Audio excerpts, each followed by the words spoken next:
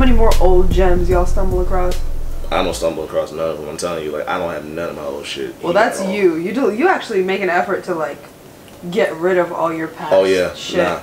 I think when like Nick oh, doesn't delete any. Oh no. Hold on, don't say nothing yet. Still has less than 300 views. That's fine. You don't make deserve numbers, more. motherfucker.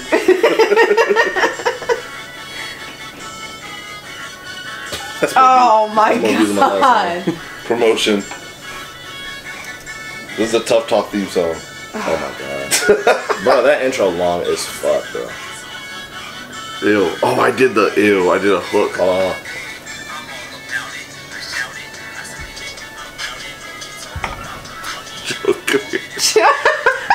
what the fuck? Sound young. Yeah, nigga was like 15. Oh, Or no, not 15. He was like 16. Nah, nah, maybe he was 15. Your voice hadn't even dropped yet. Ew. Hold on. puberty hadn't Hold on, hit, hold on, Nick? hold on, let him cook. Alright, time to stop messing around. Get the fuck out of here, nigga. You don't know that. Yo. Fuck Oh fuck. March 12th, 2010. That Relax. oh my God. That was god. the upload date. Nine years ago. oh my god. Man, reintroduce this man. All right, all right, all right. We're back. we are back. Um, if y'all were with us on the last show, you know what we were playing. Oh my god. And um, What is this? Tell them what it is. This is Tough Talk. You That's go. right. Damn. I'm so sorry. We're just Damn. we're just so into it. I forgot to introduce the show. Welcome back to Tough Talk, uh, another wonderful show by Lovelace. I'm here with Nick, Hi-yo. my um, very annoying, very obnoxious host, and of course. That joke doesn't get old. Shut up! Shut up! Uh, the love of my life, Connor from the 703. Yeah. And we're here to learn a little more about you. What? What would you like to know? Um, well, okay, I want to fuck you up. Okay. I want to bring up a name, Uh, and Oh, I'm have here for to, this. You have to yeah, just give me a general Mm, reaction. let me get my right? tea. Master Nate. oh my god. yeah. Good old Nate, bro. Yo, Yo, what's funny is like we remember we uh, what, yeah remember we saw him um not this past Christmas but the one before that. I see him at all random times. Yo, he just be popping up. I literally went to, you know, you know, Government Island. Mhm. I, Oh, went there, I went there some time to some random girl, Mm-hmm. and he was just on top of this like mountain type thing, reading a book. Just, just like, this is that type of person he is. It just it was like I was like, Nate, what's up, man? Yeah, bro. Like he like if you go to Stafford, he's all over the place. So, who is he? And who Uh, is he to you? Nate, uh, he's um. Damn, I don't know describe Nate. He's just a really good dude. Like, he like he let me use his crib to record like my my mixtape, which is really nice of him. Uh, he, he introduced me to uh, IQ and Leon from Five Senses. He, he introduced me to them. He introduced me to Zane. You know, Zane like that's my best friend. Like he introduced us, and uh, he's just a he's just a really good guy. How'd you meet Nate? I, I, fam, I don't fucking remember. I swear to God, I don't. I, I remember like, I, rem- I think I remember the first time I went to his crib, but Mhm. I don't remember how we met. Mhm. But What was it like the first time you went to his crib? And what was it for? um, I don't remember if I recorded that day or not. But I went to his crib because like he lived, we lived in the same neighborhood. I didn't know that. Um, I'm trying to think. You know what? Because I think I'm starting to remember how I met him. All right, all right. I remember. I remember. All right, So I was I was walking the dog, and he was just like he just be walking around the neighborhood. Like you'll just see he's he's this tall, lanky white dude with like long hair and uh like a huge fucking beard. Yeah. He'll shave it off sometimes, but the shit will be back in like a month. Right. A crazy beard. And I think like I think like I was walking the dog and like I bumped into him like I was just, just walked past him and he like I think he knew who I was and he was just like hey what's up? I'm Nate you know um, he was like he told me that he knew who I was and he was like you know yeah like I like your shit um, I just live like on this side of the neighborhood come over anytime you want and like I think we exchanged numbers. And then the first time I went to his crib I don't remember if you were with me or not I went a bunch of times. I don't remember if it was the first time or not. Well, the first time I went to his crib, I don't remember if I recorded or not, but I do remember that like he showed me like his whole like little studio setup, and for maybe for a couple of months, maybe like a month or two, I just like I was just over there just recording shit at his house, and um yeah, and we did like a music video together too.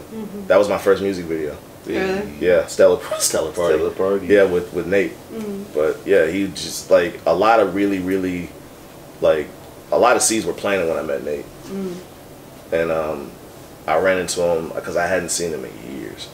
And I ran into him like no, not even not run into him, but like he hit me up on Facebook because he definitely mm. don't be using Twitter like that. So he hit me on Facebook, and he said that he was back in Virginia because I know he was living in like Oregon for a while or some shit. And he was like, "Yeah, I'm back in Virginia," and um, it was around Christmas time, and my family at the time I was living with my parents, and my family was out of town. So I and I, I had to work, so I couldn't go. But uh, Zane was coming back in town, so it was like Nate was back and Zane was back.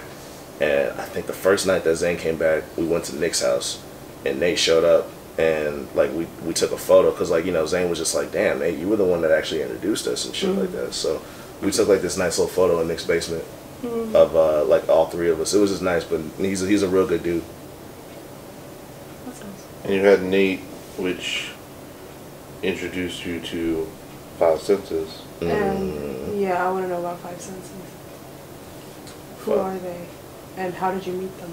Five Senses is a collective of um, like some fire ass artists, like just artists I've never heard from before. And it's it's it's me. It's me, IQ, who like we know what he's doing. Um, Wave Way- IQ if you don't know. Wave IQ. Uh, he's done shit with like Jaden Smith, GoldLink, Pee Wee Longway. He just he actually just got on some show, hmm uh, some TBS show or I think he's going on tour with Machine Gun Kelly soon. Uh, he's in there. He was, matter of fact, he was kind of, in a way, I guess, like the leader. I always thought he was a leader. So it was him, uh, his brother, his little brother Leon Knight, You, uh, Tony Hundreds, you, producer, producer, sometimes rapper, sometimes uh, Noose, dope producer, dope Shabuzi. artist in general. It was Shabuzi. He was Another he's, dope he, he's in there. Uh, Vesta's in there. The Uh, Smoke with Hutch you, and Loner Ave, they were in there at some point. Jo, Baby J, J.O.. he's in there. Uh, May Six was in there for a while. Like we've had a lot of people in there. Isn't Zane part of Five Senses? Zane was part of Five Senses. How I forget fucking Zane. It's so fucking many. Like it's hard to remember. and the best Yeah. pal Peter. But yeah, like that was that's all who was like in Yeah. in, in Five. They're we're all kind of scattered right now, but we still keep in touch. Yeah, a lot of us are in LA. hmm Um, I think no, Hutch and Loner are still here. Hutch and, But, and, and uh, Tony. Tony's here too. Oh, Tony's here. He's still here. So tell me more about your time with Five Senses, because it seems like that kind of helped develop the foundation of Mm.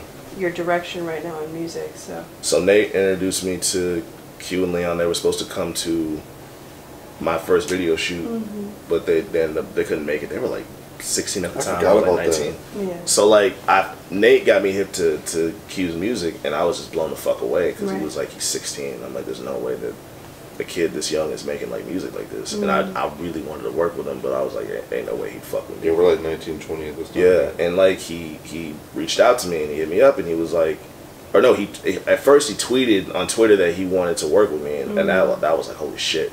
So then he hits me up and he was like, we we scheduled a date to like you know meet up and and and like talk and shit, but then like a really bad storm hit, so that mm. kind of postponed everything. right. And then he like we ended up meeting. Like me, I, I brought Nick with me, mm-hmm. and like we went to his crib, and when we walked in, so like we show up right, and I meet him, and we walk inside, and fucking the first thing we see is Leon Leon Knight. He's on the computer, but he's wearing like a, a big ass red dashiki, and like Yeah. jog- and joggers with no socks, Excuse me. and bro, like I'm just This is after uh, Leon too. Like we. Oh, yeah, we already Banana know about Man. him. We already know a little about him because he was this local thing called Banana Man, Yeah. right. where he like literally just threw on a banana suit and ran across a football game during halftime. there's like this Yeah. meme that always Yeah. pops up where it's Yeah. like like this dude's dressed up as a grape, Right. and like he's the banana. Yeah, he's like interviewed by the news. Like an interview. And so the guy dressed up like a grape. Yes, Yeah. but like so he was so there. Yeah. He was there. Loner Ave was there. Hutch was there. Baby J, Tony. Uh, Noose there? Nah, Noose wasn't there. I met Noose later, but yeah, they were all there, and like you know, I rapped for him, and then when I left, they were like, "Yeah, we want you to be part of it," and I was like fucking excited. Basically, before we left the driveway. Before before we left the driveway, they texted us and said like, "Yeah, we want you in five. and I was like, "Fuck yeah!" So like, it was just for like for years, it was just like us going to their crib, like no matter how far or how close they were, we were always at their crib, like making music. And Q was like, he was a really good coach. Um, all of them were, but Q like worked with me real real close, like. Yeah. He would just like coach me a lot, and I remember I get so fucking annoyed with him. We used to argue a lot, just so fucking much, because like we're both like really, really. I'm not gonna say like we just we we're both like really, really will. really vocal, like Oh, really, okay. really vocal. You know what I mean? Like we both have to get our point across. Right. Yeah. So we would butt heads a lot, but then like he would just like you know we would record, and I just remember like anytime I record, like before I can get two words out, he just stop me and be like, "Do it over, no, do it over, no, do it over." I'm like, "What the mm, fuck?" I'm sure that was frustrating. But he would just like he tell me he's like, dude, like when you when you record, you gotta like m- mean every fucking thing you're saying. Mm-hmm. Like if you're if this is what you're saying, you gotta feel the way you feel when you wrote it. right. So like he taught me how to put emotion into my raps and shit.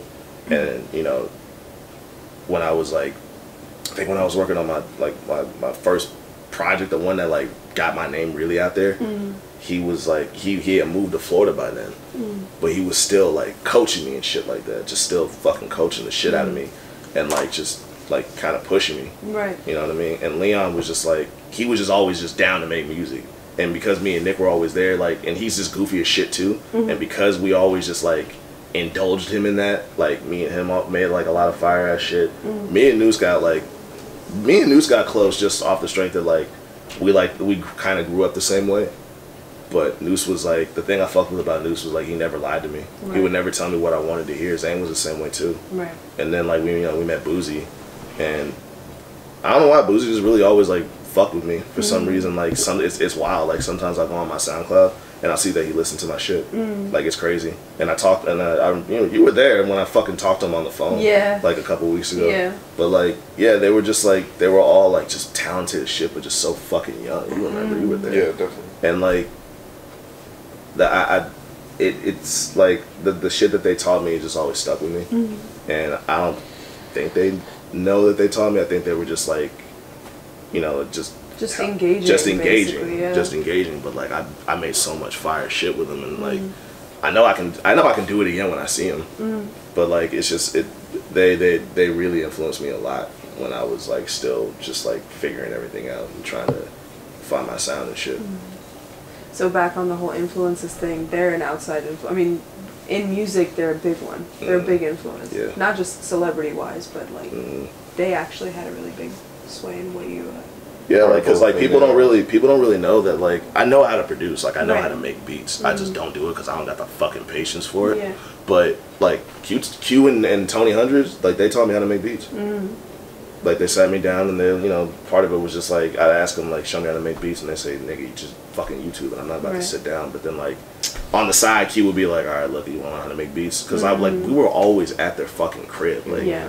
I swear to God, we show up at their crib. Sh- I shit you not, like seven in the morning, mm-hmm. like while they're still asleep, and like not leave till four a.m. the Right. next day. They never had furniture, so we spend the night sleeping on the floor. Sleep on the floor, like we'd sleep on the floor, like wear like dead ass, like wear each other's clothes, like just throw them Wow. shits on the floor, and then one of us would pick it up and put like the t-shirt on or the jacket and shit. Like so many fucking times we spent, like times we slept in like studios together and shit like that. And then like when I flew out to LA to go see him and shit, like it just just a long ass history with him.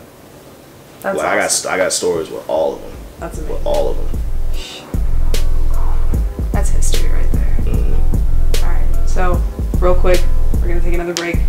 Just kind of, you know, take a second, smoke a little bit more, and uh, we'll be back.